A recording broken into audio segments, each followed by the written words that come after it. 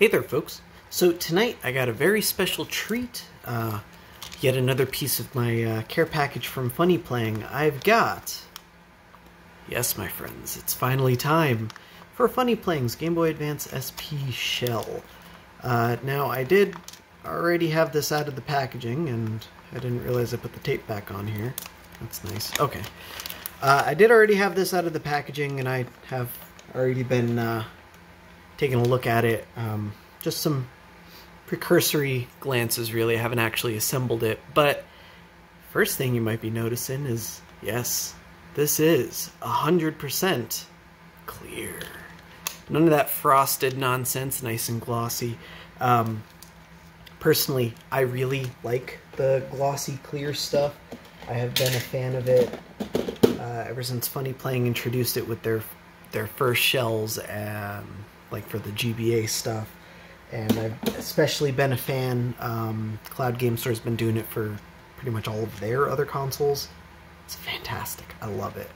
Um, I can't get enough of it. But of course, it does mean that uh, shells do show wear a little bit more quickly and a little bit easier. Um, but it's it's a price I am willing to pay, and um, before we continue, while I'm thinking about it, because it is going to scratch up my desk quite a bit, or it is going to show scratches quite easily, my desk mat's a mess, so let me get that cleaned up. And cheat code for you, a little bit of tape will clean, pick most of that right up, and then you can just fold it in half and uh, dispose of it. But uh, anyway, let's go ahead and carry on here. Uh, so I don't know what the final retail version of this thing is going to look like. I don't even know if this is the final retail version, but I can go over what mine came with. Uh, so I've got clear shoulder buttons here. I've got a small uh, injection molded adapter for a USB-C mod. More on that later. I'll go ahead and set that aside for now. Uh, and in here there are also uh, the transparent hinge covers um, but that's about it. This shell doesn't come with too much more. Uh, it also came with a little accessory bag here full of all the screws, several light pipes. Uh, in fact, it came with four light pipes. You only need one, but there we are. Uh, looks like three square nuts and so on. Like I said, probably not the final version. Uh, in fact, I know one of the reasons why this shell took so long is because they had to make some customizations to... Oh, and it does have the hinge cover there. It was stuck in there.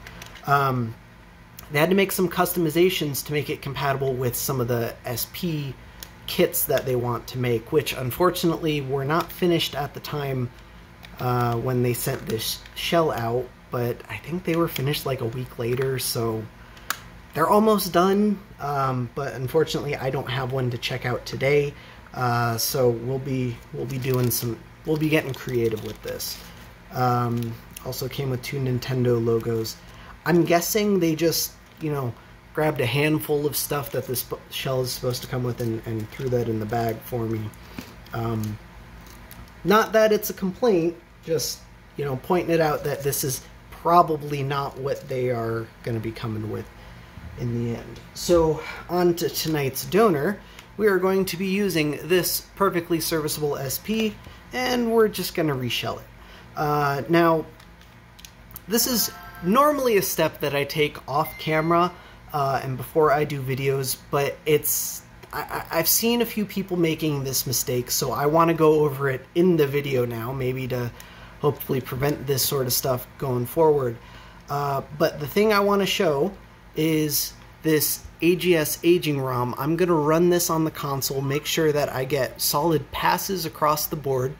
Uh, that means that the console is working pretty much ideally electrically, which, like I said, I already did this off camera, so it's something that I expected. Uh, we have audio, audio is working, uh, and I can mess with the volume here to double check that. And then the last thing we're going to check back in the AGS aging ROM again is the key input test. I'm going to make sure all of my buttons work because going into this with a broken console, um, it's it, we're, we're not going to have a good time. Uh, I want to make sure that my console works perfectly before we go in, so that in case anything stops working midway through, you know, we know it's probably something that I did rather than, you know, if we just go into this blind and then the console doesn't work, is it something I did? Did the console ever work? Etc. Etc. Uh, and then the last thing I'm going to check, I'm not going to bother checking out the link port capabilities because quite frankly I don't really care that much. And I'm not going to be checking out the headphone dongle um, output see to see if it works with the dongle because again, quite frankly, I just don't care that much. But we're going to make sure it charges and indeed it does. Um, that's not to say that not a common problem with these things. In fact, I have already opened this thing up and cleaned the power switch as well as replacing the battery. Um, I don't have a particularly good battery in here, but it's something that I had on my desk and, you know, I, I already have the battery. I might as well use it. Uh, anyway, let's go ahead and carry on, get this thing torn down. And because I know inevitably it's going to come up in the comments, the ROM that I was using is called AGS Aging, and it is an internal tool used by Nintendo to run hardware diagnostics on these consoles, so it's not something that I can link to you. But I'm willing to bet if you Google search that, you'll probably be able to find it. There's a uh, site called the Cutting Room Floor, and they tend to host lots of stuff like that. Not saying you should check them out, but, you know, just tangential information. Alright, so six screws along the bottom. Once we've got the JIS, this is a JIS screw, not Phillips. Once we've got that JIS screw out, there are three Y-shaped screws, um, commonly referred to as tri-point, I believe it is, not tri-wing, that's different. Uh, and then we'll flip the console over so that the bottom, so that I can lift the, the console off of the bottom. The reason we want to do that is because there's this little square nut in here that likes to fall out. Um, very easy to lose these. In this particular case, I've got several extras, so it doesn't really matter. Uh, but I have several SP consoles that are missing these because I've lost them, so I'd rather keep an eye on that if I can. Uh, additionally, these shoulder buttons and the power switch tend to tend to drop out of there. There's a little bit of solder in there. I don't know how that happened. Um, but easy enough to pull off. We'll set that aside for now. Next up, got to switch bits back to the JIS because there are three more JIS screws in the motherboard. These are short screws, not long ones. Uh, I know a lot of a lot of people don't necessarily pay attention to the screw lengths, but there are two different lengths of screws in the SP. We don't want to get them mixed up because you will ruin your shell. Ta-da! Once you've got those three out, you can hinge the motherboard up. Be careful because there is a ribbon cable down here by the screen. I'm going to try and lift this up so I can release the bail and slide the ribbon cable out. Now, I guess it is pretty common that the ri uh, ribbons, membranes stick to the board when you lift it out, but you can just peel these up, and I'm going to keep them in the shell for now. Though realistically, I should probably set them aside. Yeah, I'll set them aside.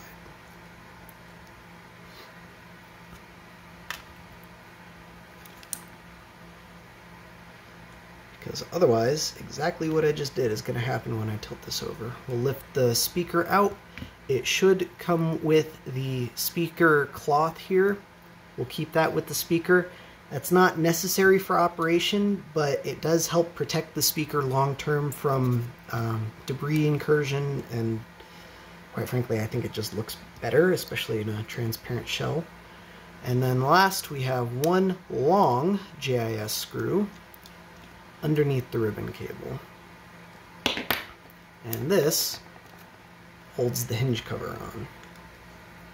Once we've got that out, we've got this thing very nearly completely disassembled. Um, if I were installing this thing into a, a slate, I've already got it torn down enough. We don't need to continue anything here. Uh, but unfortunately, I do need the hinges because Funnyplaying does not include them, which means I need to disassemble the top half of the screen. And since we're not putting a uh, backlight kit in it yet, uh, I do also want to go ahead and pull the screen out of there. Uh, so let's do that next. Let me get plastic spudger here. I'll grab a new one. That's not new. That's not new either, but good enough. I like to use the plastic spudgers because if you use a metal tool on this, like a screwdriver, it is extremely easy to damage either the shell or the screw cover or both. And quite frankly, that's just bad practice. Um, so I'm just going to circle this around the periphery of the screw cover until I get a good foothold under it and I can pry it up. I gotta do this five times. Sometimes they rip. Unfortunately, that's just the way it goes. Thankfully, finally you can get replacements of these in relatively decent quality. Um, but the OEM ones are still going to be best for OEM shells.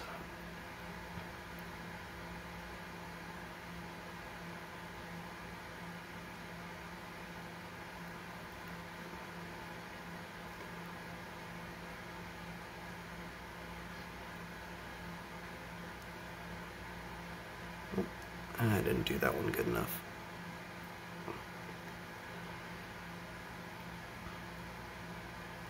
I've, I've had some people recommend a sewing needle to me for this, and yeah, that does work pretty well, but I just, I like sticking with the spudger, mostly because I don't have an abundance of sewing needles, um, but it is what it is. And unfortunately, Okay. So the adhesive came out with the three small ones, but the adhesive stuck in with the two big ones. Uh, it's not going to be too big of a deal because I'm not going to bother saving it. Uh, but on AGS 001 consoles, I've only ever seen five uh, short tri-point screws. On AGS 101 consoles, I've only ever seen five short JIS screws. But either way, not too big a deal. I'd rather replace the adhesive than try and salvage it from here, so I'm just going to poke my screwdriver through and lift the screw out, and you can see the adhesive came with it. I'll just peel that off so I can reuse the screw later.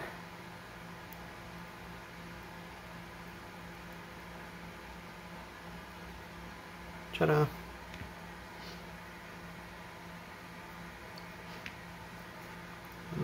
one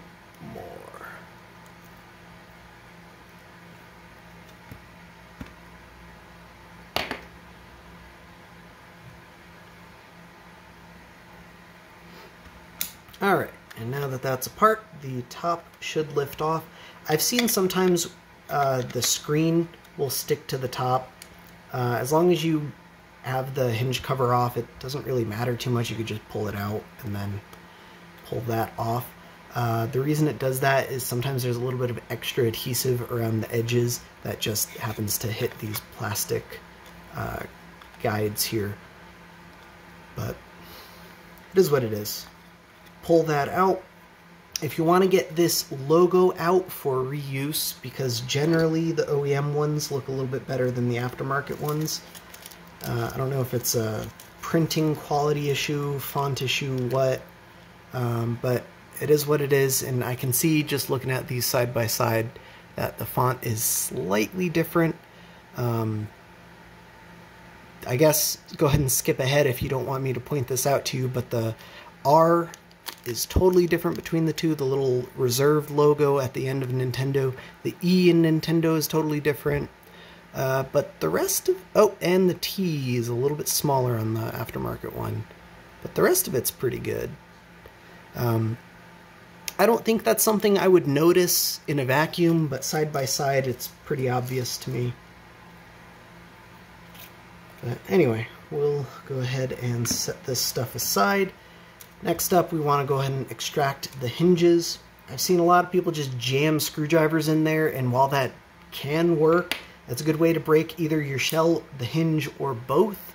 I actually went ahead and designed a tool specifically for hinge extraction. Uh, I don't sell them, but the model is free on my printables profile. Uh, but you just drop that bad boy in there, open the shell up, uh, and then we can use our screwdriver to push it out. And I am going to reposition my hands so that I don't stab myself. Hmm.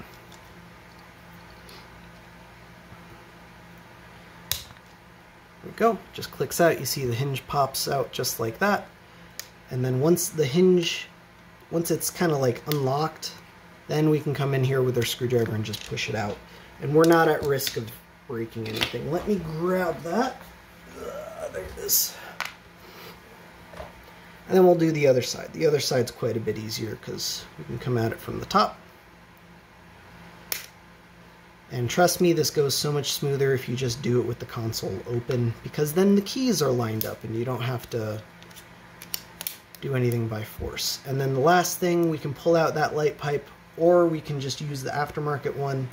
Um, I'm going to use the aftermarket one for the sake of trying it out, but normally I like to use the OEM ones.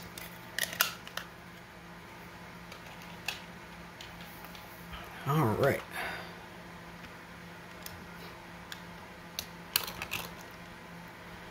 So I am going to start off by popping the hinges in here.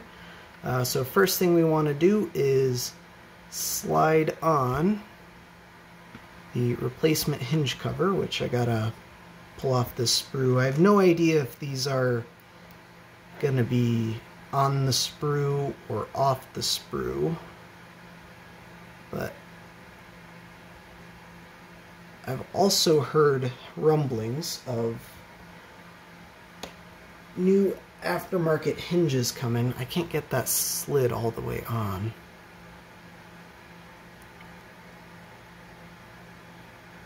I wonder if it's a matter of trimming off this flashing here.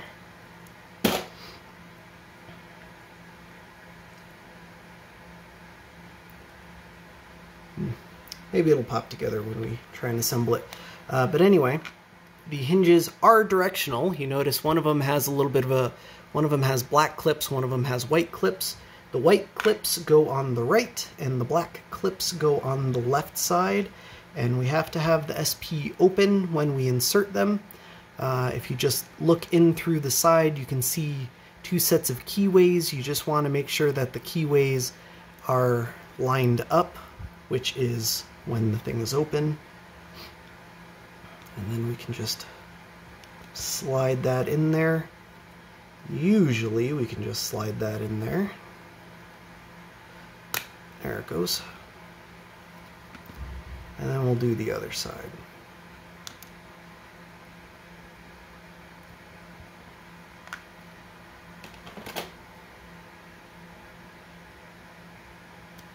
Just trimming that little bit of flashing off from the sprue. And then same thing, while it's open, drop that in. And ta-da! Easy peasy, nice, clicky, snappy, responsive. Feels like OEM because it's using OEM hinges. We can go ahead and drop this screen in there. It's nice and loose, but I don't think that's going to be a problem. Seems to seems to hold its own. Oh, while I have this, before I reassemble it, I might as well give it a good cleaning because it's much easier to get at. This is also a good opportunity to replace the lens if you want to, but um, we I, I, will actually throw a backlight kit in this thing, uh, but I want to do the uh, regular full assembly first, and then I'll double dip with the backlight kit. Alright.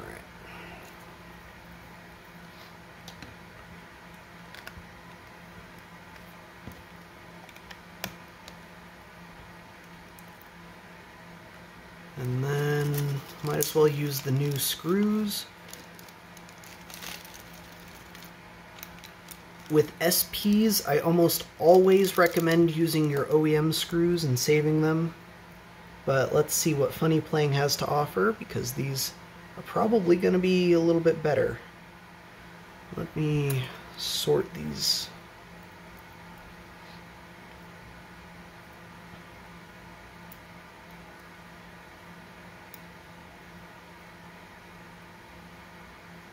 So right now I'm just sorting between long and short screws. Hopefully they just gave us all the same screw type, but let's find out. We've got crosshead, crosshead, crosshead, crossheads, crosshead, crosshead, crosshead, crosshead, and crosshead. Nice.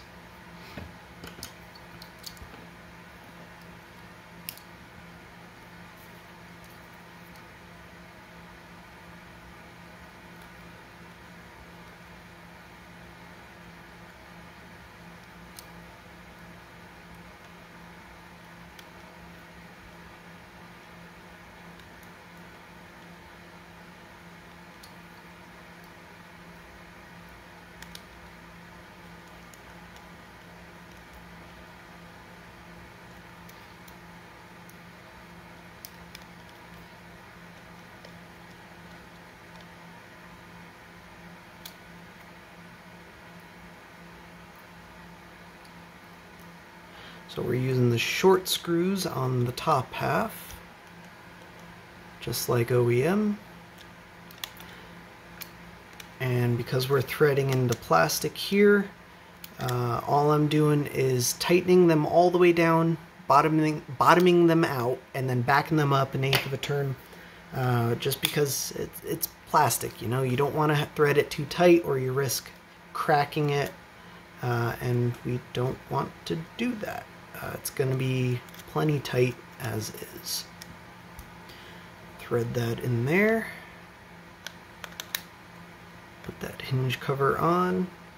And now, I guess let me go ahead and sort the long screws and see if we have any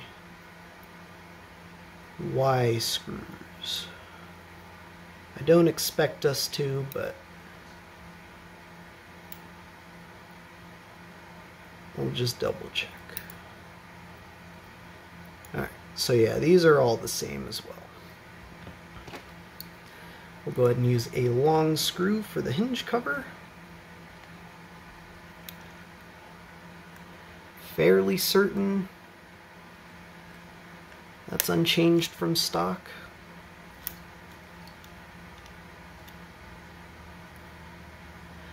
And same thing, bottom it out and then back it up an eighth turn.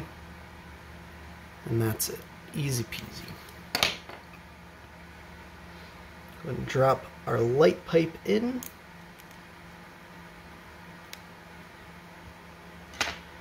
And now we need some buttons. I don't want to reuse these because they're, quite frankly, kind of gross. And I don't want to have to stop the video to clean them. So let's see what I've got. Ugh. I never ordered buttons. What I'd like to use...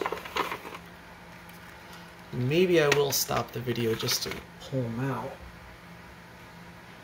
I like to use these custom resin buttons that one of my buds made for me, so let me let me pause and grab these.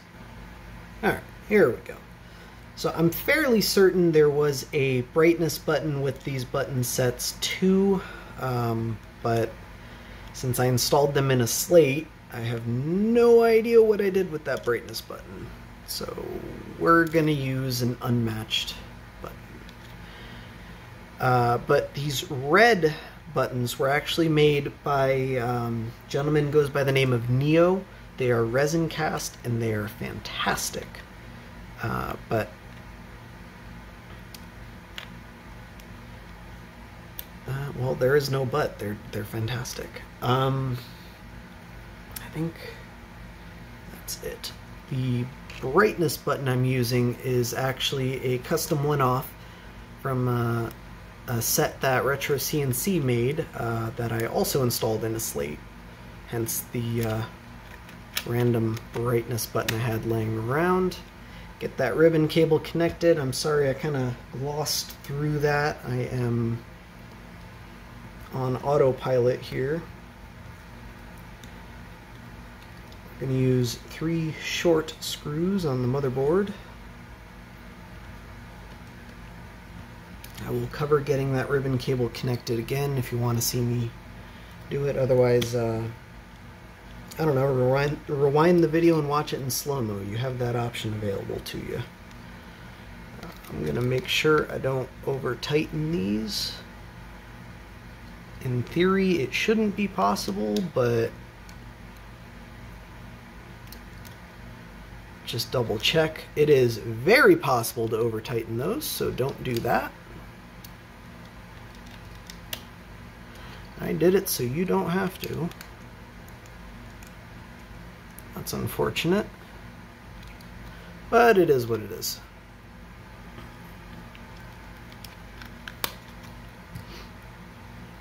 Alright.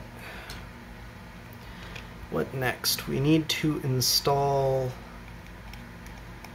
this shielding here. And we are short screws. Or are we? No, we can use long screws for this.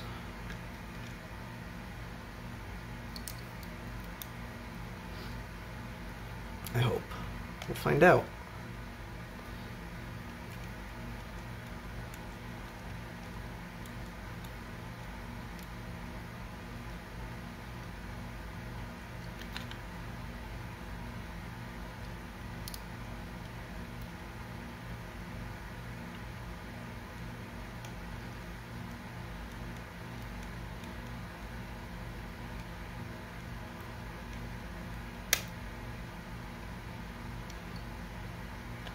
Yeah, that's fine.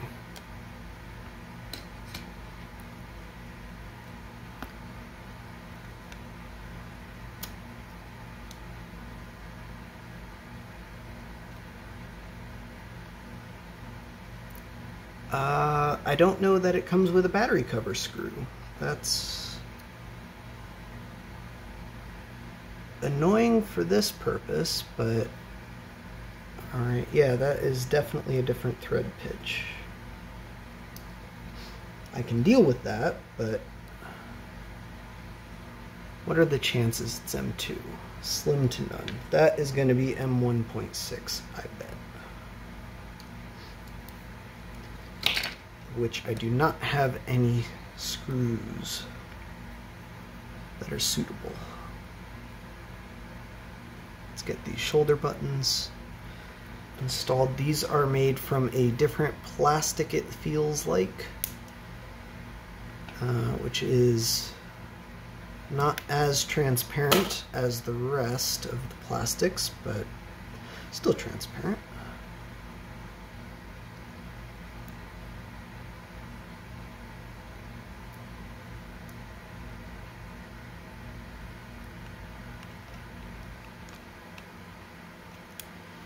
These springs are directional. They do only fit in one shoulder button. Uh, one, one side, that is. And oh, they sent extra springs.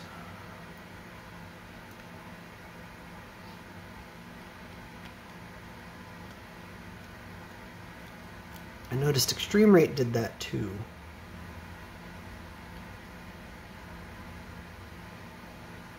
Maybe it's just to make their life easier, so in case in case you're of the Butterfingers type and you grab the spring and, and uh, launch it into space, you know, they don't have to they don't have to deal with the customer support of trying to send you another one. You just have extras already.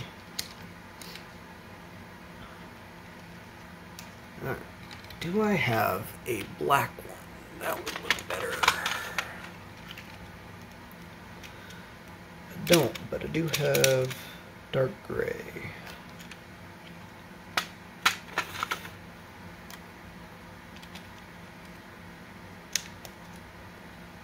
in there, get that switched off, get that random screw out of there.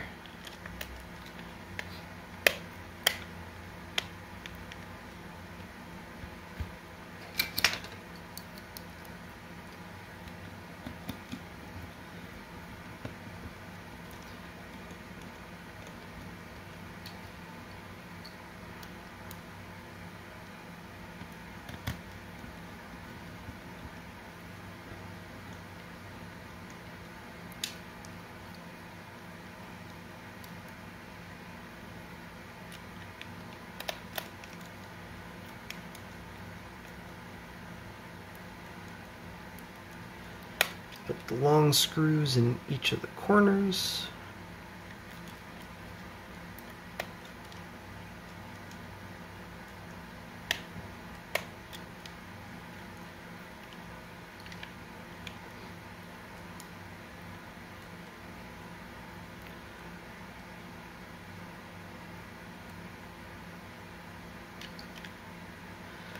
and it does not appear possible to over tighten these ones to the point where you nub them thankfully.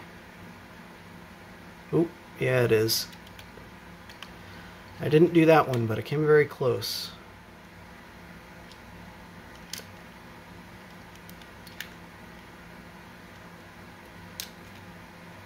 It's transparent so uh, you can just look and see what I'm doing through the side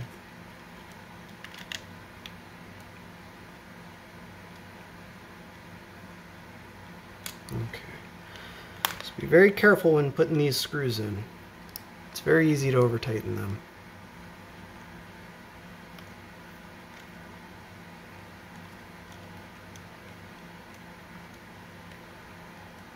That one should be pretty easy. Even if we over tighten that one, you wouldn't see the nub because it's hidden by the hinge. And then this last one,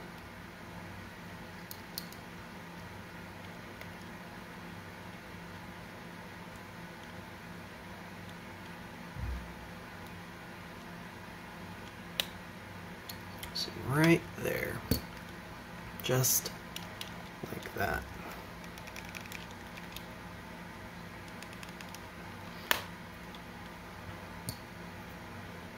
Uh, oh, let's pop battery in this bad boy.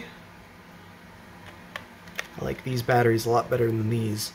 Uh, I saw these floating around on uh, AliExpress a while back, and um, Retro Game Repair Shop had actually picked up a few and sent them to me for testing, and they're alright, but they're wildly inconsistent as far as battery uh, capacity goes. Um, I don't remember offhand, I'll have to check my notes, uh, but if I recall correctly, it's anywhere from like 600 to 800 milliamps, milliamp hours of capacity, which for brand new batteries, that's kind of ridiculous. Oh, and then there were just a couple that were straight DOA. Like that, I don't like them. These, on the other hand, they're not super high capacity. I don't remember what I measured them at. I don't think it was 850 milliamp hours.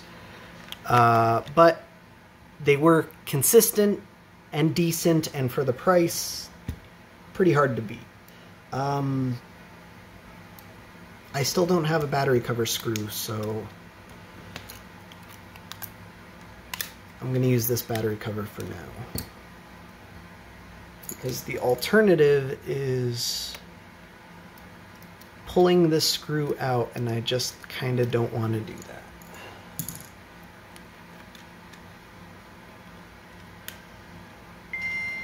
But, huh? Huh?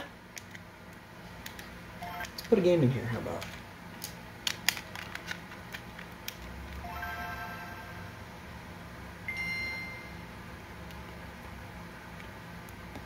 Kill my overhead lights. Uh, all of them, actually. Might be a little bit easier to see this screen. There we go. I'm going to pull open the tester just so I can test all my buttons. Uh, now, this isn't necessarily a um, comment on the shell or anything like that, because these are all aftermarket buttons, but they do all work perfectly fine, and they're all perfectly usable, so I'm not too worried about it.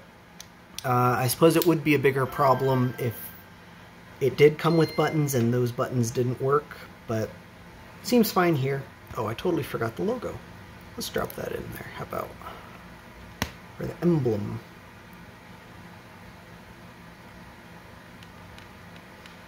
If you want to reuse your original emblem,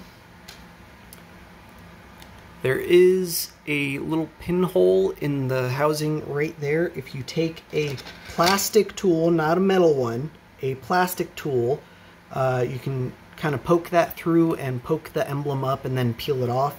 If you use a metal tool, you will scratch the back of the, the uh, holographic coating on there, and it will be visible from the outside. You don't want to do that. Use plastic, trust me, it'll work better. Anyway.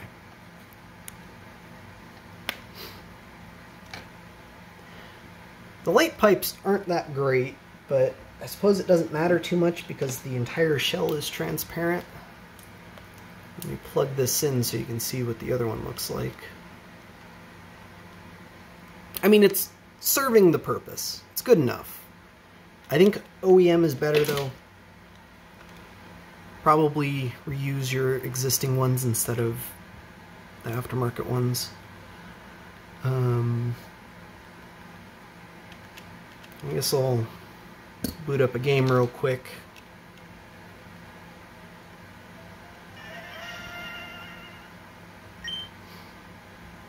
Just run around for a minute. I don't expect to really have anything else to say. I mean, it's it's a GBASP shell. It feels like a GBASP shell. Um, certainly acting like a GBASP shell. I'm pretty happy with it. I've got no strong feelings one way or the other as far as um, the feel goes. It feels like it should.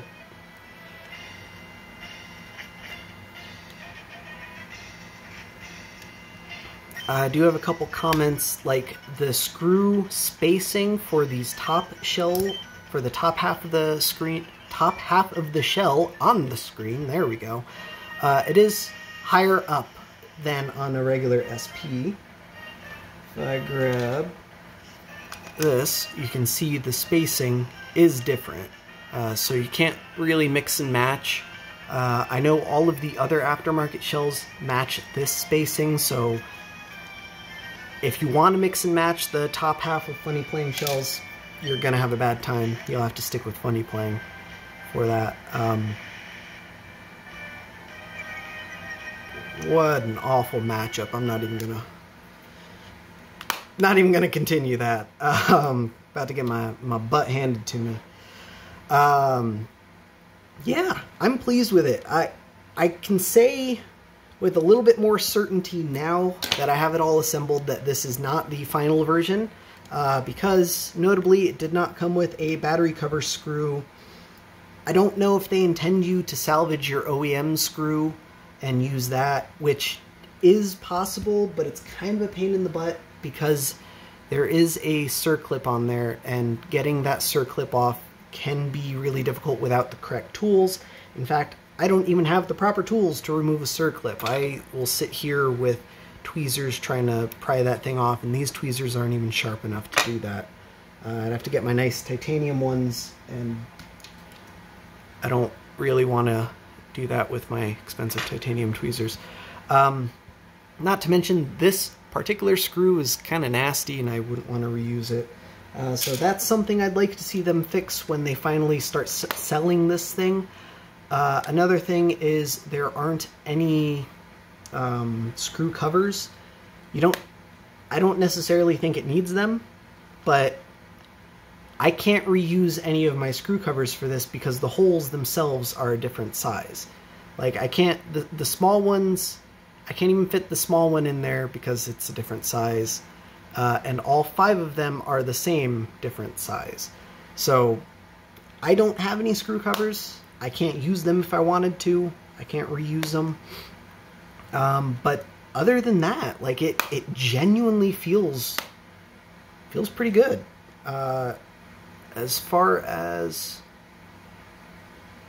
yeah, I suppose it could use the the screw covers.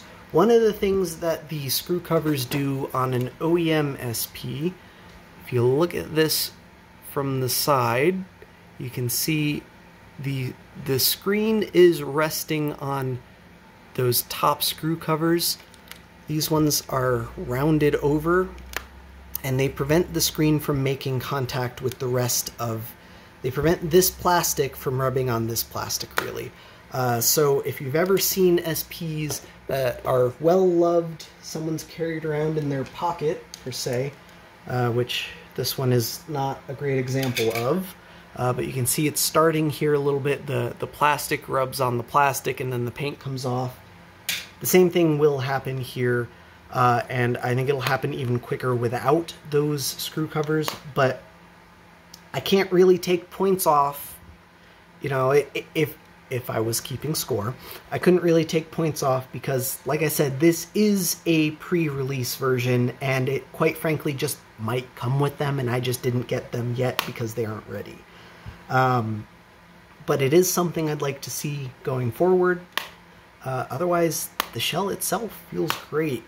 Uh, that you might not hear the hinges clicking, but that SP didn't click beforehand.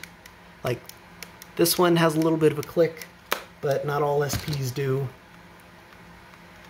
This one's nice and quiet.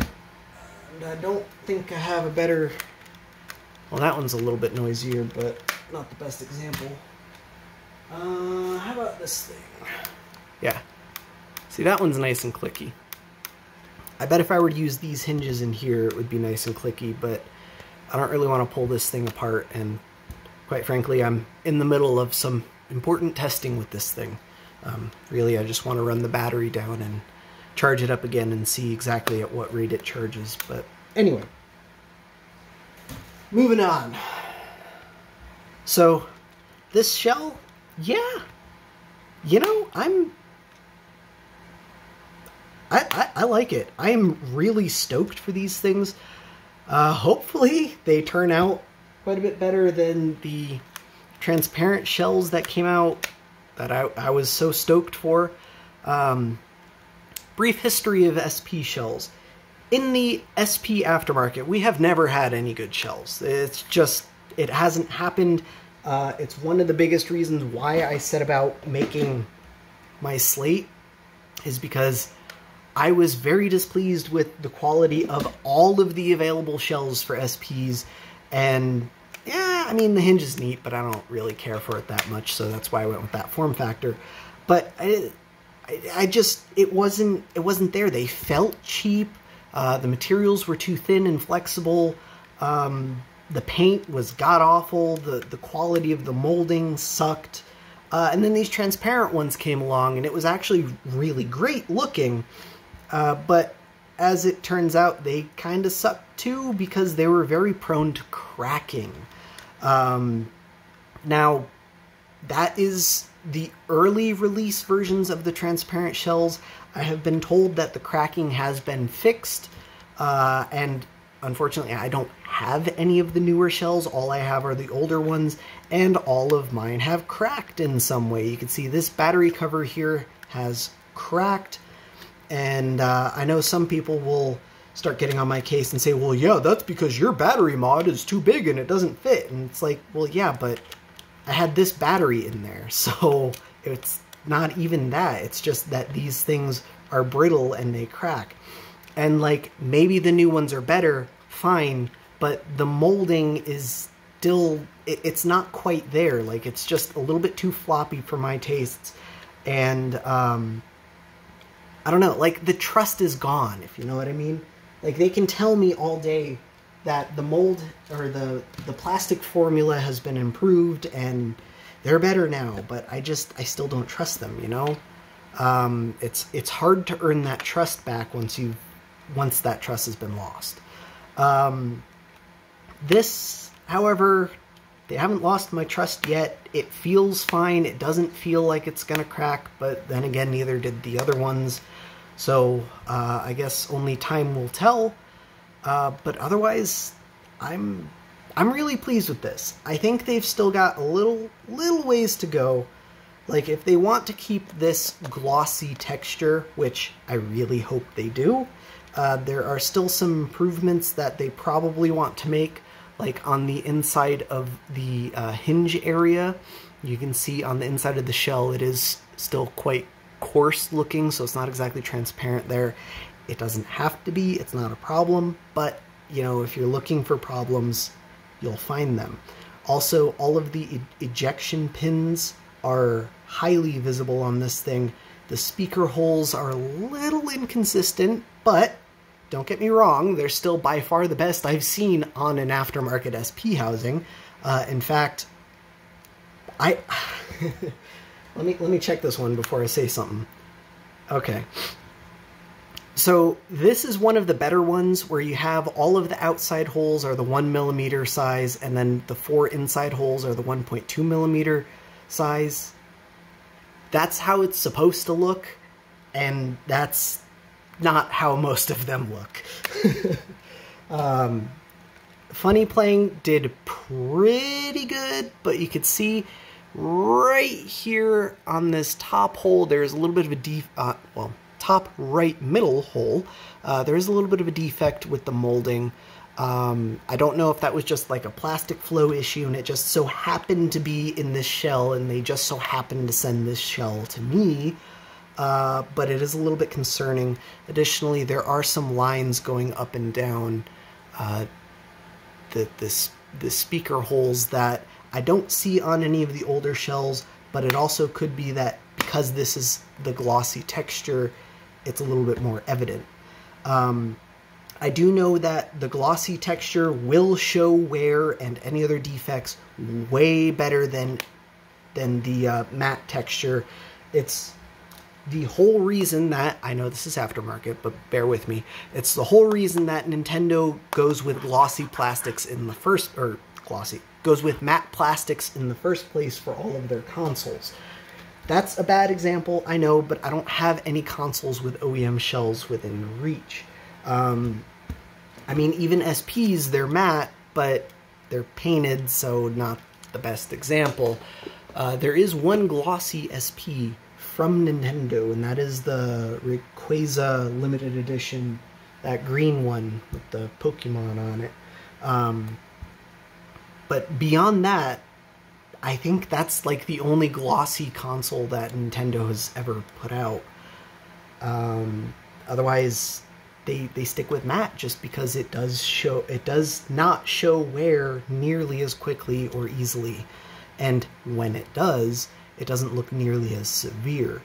Um, but quite frankly, I can't speak for everyone here, but I can certainly speak for myself, and I don't use these things like I used to.